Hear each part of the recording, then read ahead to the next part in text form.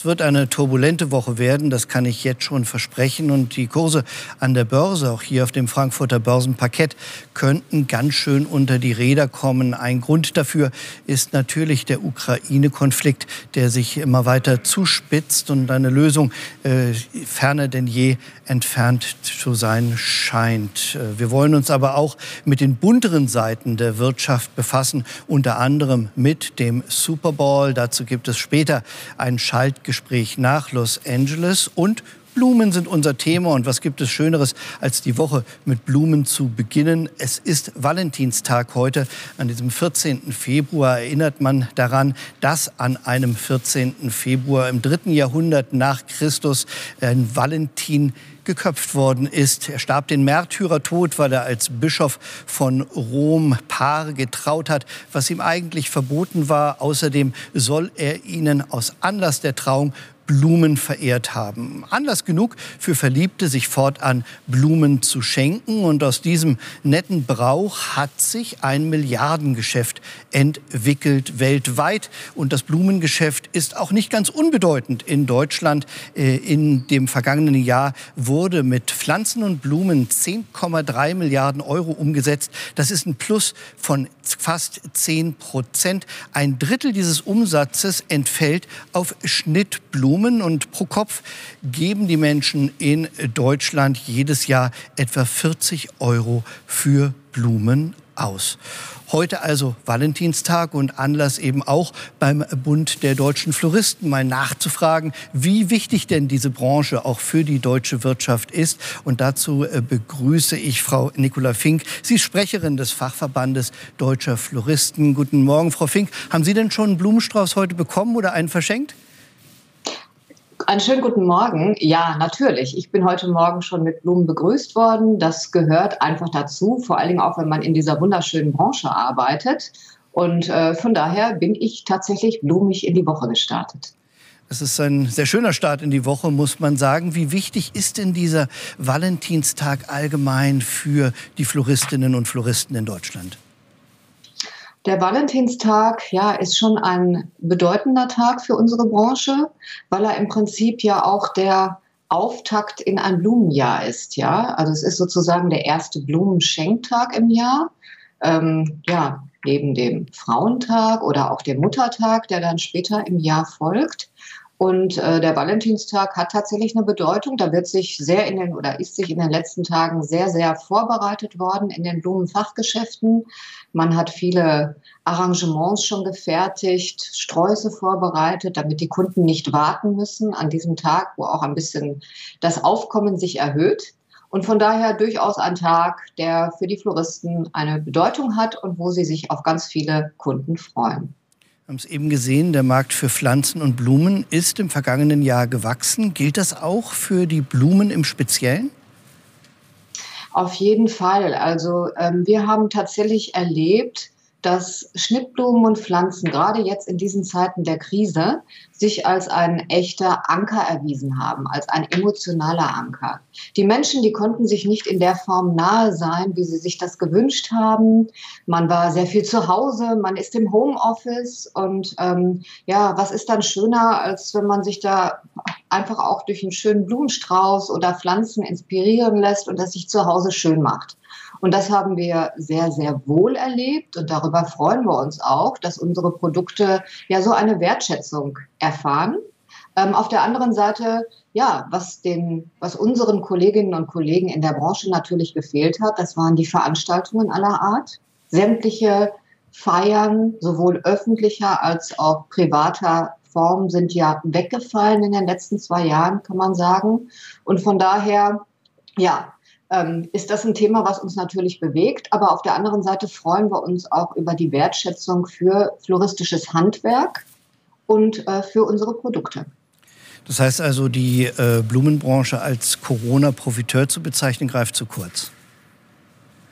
Das würde ich sagen, das, das greift zu kurz, ja. Ähm, aber es ist, wie gesagt, es ist tatsächlich so, dass wir uns ähm, über diese Wertschätzung und die, ja, die Affinität der Menschen, der Wunsch der Menschen, sich mit Blumen und Pflanzen zu umgeben, sehr freuen. Aber wir freuen uns natürlich auch, ich sag mal, wenn die Normalität wieder einkehrt, was sich ja jetzt an vielen Stellen andeutet und die Menschen auch wieder zusammentreffen können, sowohl ich sag mal, im öffentlichen Raum, äh, zu privaten Feiern, ähm, zu den verschiedensten Anlässen. Und da sind die Floristen natürlich diejenigen, die mit ihren blumigen Inszenierungen diese Veranstaltungen wunderschön begleiten können und einfach auch die Atmosphäre schaffen können. Das sind wir einfach die Experten und da freuen wir uns darauf, wenn wir da auch wieder richtig loslegen können.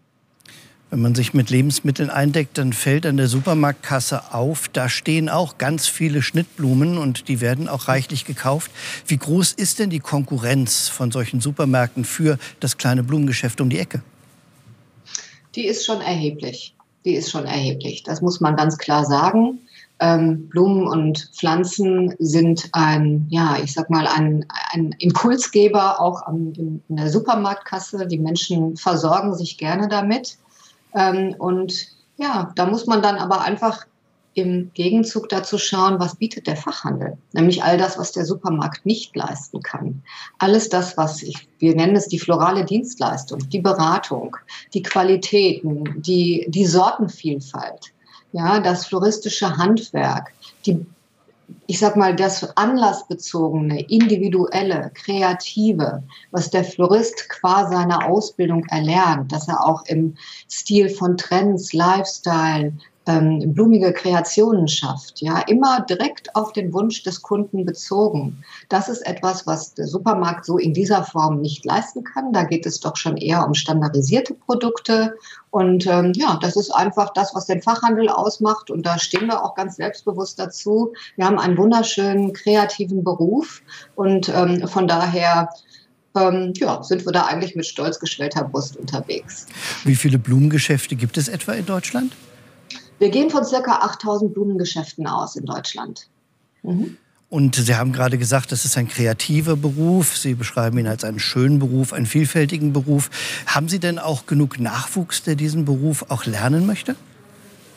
Da bedanke ich mich für die Frage bei Ihnen, Herr Wolf. Nein, wir suchen tatsächlich dringend. Ähm, ich denke, dass unser Beruf leider oftmals auch unterschätzt wird. Und ich kann einfach nur dazu einladen, sich mit diesem Beruf zu beschäftigen. Ähm, es, es, geht um so viel mehr als um den Blumenstrauß zu binden. Ja, das ist ein, eigentlich auch einer der wunderschönsten Aufgaben der Floristen, die Blumensträuße. Wir nennen es oft die Königsdisziplin. Der ist nämlich viel anspruchsvoller zu binden, als wie man es sich das so gemeinhin vorstellt. Ähm, aber es geht um so viel mehr. Ja, es geht um, ich sag mal, auch um große florale Konzepte für Veranstaltungen, große Veranstaltungen. Es geht um Messen, die wir blumig ähm, begleiten. Es geht um, ja, ich sag mal, die ganzen Feierlichkeiten, die den Menschen durch sein gesamtes Leben begleiten, im Prinzip von der Geburt bis zu seinem Tod. Das ist es, was Floristen begleiten, wofür sie die richtigen Ansprechpartner sind, um auch die Wünsche, Bedürfnisse ähm, die Emotionalität der Kunden zu erfassen und die Kunden dort abzuholen.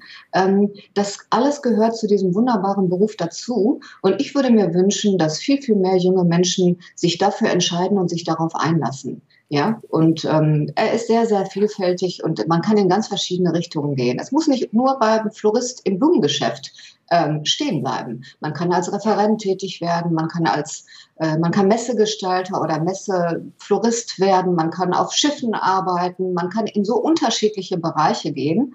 Ähm, das ist sehr faszinierend und ähm, da gibt es ganz viele Facetten und da würde ich mir wünschen, dass sich mehr junge Menschen dafür entscheiden.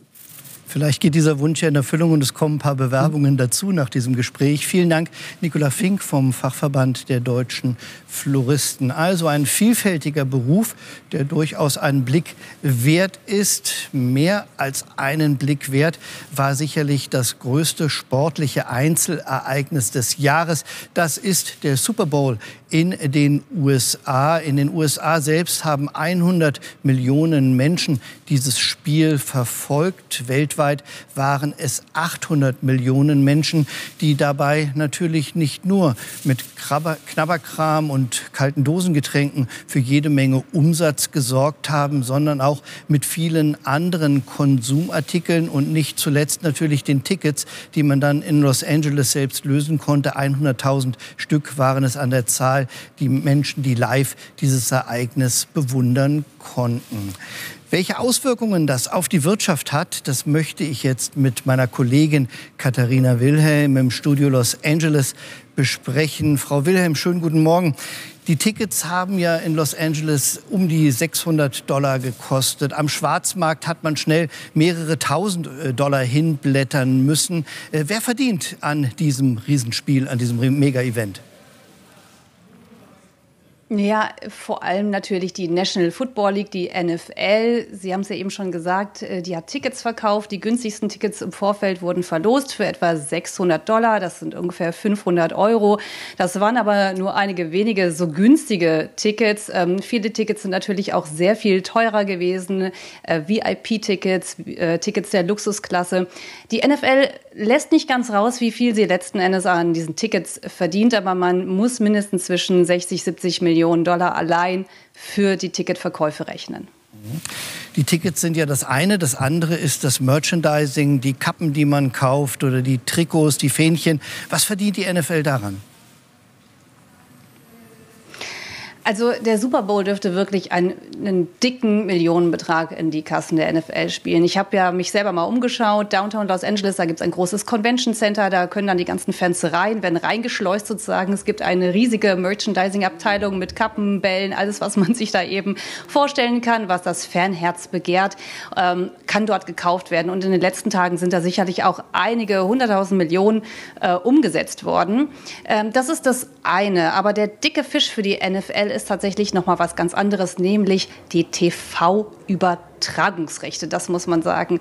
Die NFL lässt nicht ganz raus, wie viel sie da ähm, bekommt von den TV-Sendern. Das liegt daran, dass die NFL ähm, aus 32 Teams besteht, die privat geführt werden und die tatsächlich nicht so Einblick gewähren müssen. Aber Wirtschaftsexperten gehen davon aus, dass äh, tatsächlich die NFL im Jahr etwa drei Milliarden US-Dollar verdient, allein an den TV-Übertragungsrechten. Und das macht die NFL eben zu einer der lukrativsten Sportligen der Welt.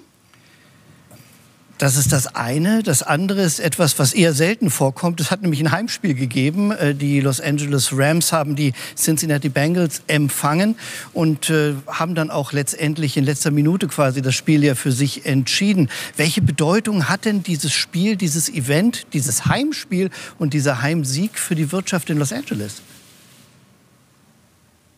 Ja, natürlich ein ganz immenser Faktor für diese Stadt. Also man hat ausgerechnet, etwa 477 Millionen US-Dollar soll die Stadt Los Angeles an Mehreinnahmen jetzt eingenommen haben, weil die Fans in die Stadt gekommen sind. Man rechnet mit etwa 150.000 Besuchern in der Stadt. Die gehen natürlich in Restaurants, die sind im Hotel, die gehen dann auch noch vielleicht shoppen in ein paar Tagen. Es ist ja auch ganz hübsch hier in Los Angeles. Man kann noch das eine oder andere tun. Und vor allem die Stadt Inglewood, wo das SoFi-Stadion steht, also wo ja das Spiel stattgefunden hat, das ist ein Vorort von Los Angeles, ein wirtschaftlich und strukturell eher schwacher Vorort. Der hat wirklich darauf gehofft, von diesem Super Bowl extrem zu profitieren. Ich habe mir das auch mal im Vorfeld angeschaut. Da gab es wirklich Menschen, die ähm, klar in Restaurants arbeiten, die darauf gehofft haben, dass viel mehr Besucher in diesen Stadtteil kommen, die vielleicht sonst nicht gekommen wären. Aber auch Privatleute haben zum Beispiel ihre Parkplätze vermietet und das zu dicken Preisen 100 bis 400 US-Dollar habe ich tatsächlich gesehen für einen Parkplatz für dieses Spiel. Kann man sich in Deutschland kaum vorstellen, aber in einer Autostadt in Los Angeles, wo es kaum öffentlichen Nahverkehr gibt, zahlt man letzten Endes wahrscheinlich sogar diese Preise. Also insofern ist verdienen zum einen die Hoteliers, die Restaurantbetreiber, aber eben tatsächlich tatsächlich auch die ganz normalen Menschen in dem Vorort in Inglewood an diesem Super Bowl. Man kann sich in der Tat kaum vorstellen, vielleicht im Kleinen, wenn es ein Fußball-Länderspiel gibt hier in Deutschland, da steigen auch die Umsätze mit neuen Fernsehern, die gekauft werden. Natürlich steigt der Umsatz äh, mit Kaltgetränken, unter anderem Bier und man bestellt sich auch mal eine Pizza. Wie sieht das in den USA aus? Welche Branchen profitieren von so einem Mega-Event wie dem Super Bowl? Es sind natürlich auch vor allem die Lebensmittelbranchen. Und da gibt es ja in jedem Jahr diese wunderbaren irren Zahlen, die wir dann immer äh, gerne lesen. Also 50 Millionen US-Dollar sollen die Amerikaner ausgeben für den Super Bowl. Da werden 11 Millionen Pizzen bestellt, 120 Millionen Liter Bier getrunken und eine Milliarde Chicken Wings soll der Amerikaner tatsächlich verputzen an diesem einen Tag. Und das liegt natürlich daran, dass das hier äh, mehr ist eben als nur ein Sportevent. Da kommt die ganze Familie zusammen, da werden Freunde eingeladen. Wer sich nicht für den Sport interessiert, den interessiert vielleicht die Halbzeitshow mit den vielen Stars, die auftreten. Und dann trifft man sich hier eben im Garten und, und feiert zusammen. Und das ist eben ein immenser Wirtschaftsfaktor, weil das die ganze USA und letzten Endes, wir haben es ja auch gesehen, die ganze Welt äh, letzten Endes vereint. Also insofern, ja, vor allem die Lebensmittelindustrien, die verdienen natürlich in äh, erster Linie an diesem Tag auch. Ist das der Grund dafür, dass die Unternehmen auch bereit sind, Millionenbeträge auszugeben, um mal für 30 Sekunden in einer kurzen Pause im Fernsehen zu erscheinen mit einem Werbespot? Ja, man muss sich ja vorstellen, also nicht nur die USA, sondern die ganze Welt schauen ja zu. Das heißt, wenn man etwas Interessantes platzieren möchte, äh, wenn man eine gute Imagewerbung machen möchte, dann schaltet man zum Super Bowl. Und wir haben es ja auch gesehen, also viele internationale Unternehmen werben beim Super Bowl. Es wird danach tagelang über die Werbespots geredet, weil die besonders kreativ sind, weil besonders viele Stars auftreten, von Arnold Schwarzenegger und Selma Hayek eben bis äh, ja andere Stars, die natürlich dann auch wieder zu sehen sind. Äh, ähm, die Werbung machen für ihre Serien, für ihre neuen Filme. Also das ist eben auch alles ein großer Wirtschaftsfaktor, der mit da dran hängt. Also letzten Endes auch Hollywood und, Entertainment natürlich. Ja, Sie haben es gesagt, BMW hat einen Werbespot geschaltet und Arnold Schwarzenegger für die Hauptrolle quasi äh, gewinnen können. Und damit sind wir quasi in Deutschland. Äh, es hat die Nachricht gegeben vor dem Wochenende, dass zukünftig ein Spiel der Saison äh, abwechselnd in Frankfurt oder in München stattfinden soll. Erste Frage, warum macht man das seitens der NFL? Und zweitens, gibt es da für die Deutschen auch was zu verdienen? Also Erste, äh, erste Antwort ist natürlich, weil die Football-Begeisterung in Deutschland auch gewachsen ist, viel, viel größer geworden ist. Und die NFL, das beantwortet sich dann mit der zweiten Frage, die möchte daran verdienen. Und ich glaube, auch in Deutschland hat man Interesse daran, die NFL zu sich zu holen und auch daran zu verdienen. Ich habe hier am äh, Rande des Super Bowls mit einem Vertreter der Stadt München gesprochen, die sich hier präsentiert haben, die auch nochmal gesagt haben, wie toll man in München feiern kann, dass es da nicht nur das Oktoberfest gibt, sondern dass man natürlich auch sonst guter Gastgeber ist mit dem FC Bayern München und so weiter und so fort fort. Peter Feldmann, der Frankfurter Oberbürgermeister, hat auch per Videoschalte für Frankfurt geworben. Und ähm, allein die Stadt München rechnet mit Mehreinnahmen von etwa 30 Millionen Euro und sagt, etwa 500.000 an Steuereinnahmen sollen dazukommen am pro Spieltag. Also das sind natürlich auch noch mal immense Summen. Und Natürlich gilt auch das Sportliche. Man freut sich logischerweise auch, dass es eben äh, einen tollen sportlichen Anreiz gibt und dass diese großen amerikanischen Teams dann nach Deutschland kommen. Milliardengeschäft American Football und ein paar Krümel fallen jetzt auch für die Deutschen ab. Vielen Dank nach Los Angeles. Schöne Grüße, Katharina Wilhelm. Ja, in der Tat wird es wahrscheinlich höchste Zeit, äh, sich mal mit den Regeln dieses Spiels auseinanderzusetzen, wenn zukünftig mal mindestens ein Spiel äh, in Deutschland stattfinden wird von der National Football League. Es gibt aber auch Ligen hier in Deutschland und die Mannschaften spielen auch gar nicht mal so schlecht. Genug vom Sport. Es geht um ernstere Themen, auch hier und heute in der Wirtschaft. Da haben sich einige Kursbewegungen abgezeichnet aufgezeichnet, die ganz deutlich zeigen, wie groß die Verunsicherung ist rund um den Ukraine-Konflikt. Die Ölpreise ziehen kräftig an. Man befürchtet, dass es zu Versorgungsengpässen kommt. Und äh, ein Fass der Nordsee-Sorte Brand nähert sich wieder dem Preis von 100 Dollar. Das hat es wirklich lange nicht mehr gegeben. Die Moskauer Börse ist eingeknickt. Zur Stunde verliert der Leitindex dort über drei Prozent an Wert. Und auch der russische Rubel hat an Wert verloren. Das heißt also unterm Strich, die Menschen, Anlegerinnen und Anleger ziehen ihr Geld aus Russland zurück. Warum die das machen, liegt zwar auf der Hand, aber zu den tieferen Gründen möchte ich dann mit Robert Halver sprechen. Er verantwortet das Wertpapiergeschäft bei der Bader Bank. Guten Morgen, Herr Halver. An diesen Kursbewegungen kann man da tatsächlich die Unsicherheit spüren? Guten Morgen nach Frankfurt. Ja, auf jeden Fall. Wir haben ja ein Riesenproblem. So eine Kriegssituation, so eine mögliche, ist ein Riesenfragezeichen. Krieg und Frieden oder besser, frei nach Leo Tolstoi, Krieg oder Frieden, beschäftigt ja die Börsianer, weil wenn es zur Eskalation kommt, würden ja, Sie haben es gerade gesagt, die Gaspreise, Ölpreise noch weit nach oben schießen.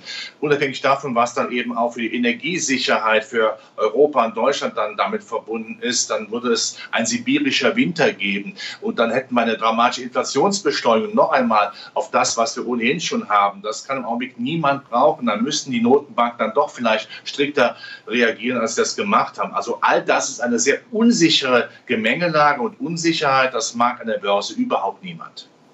Auf der anderen Seite äh, gibt es ja das schöne Börsensprichwort, kaufe, wenn die Kanonen donnern. Da scheint überhaupt nichts dran zu sein, oder?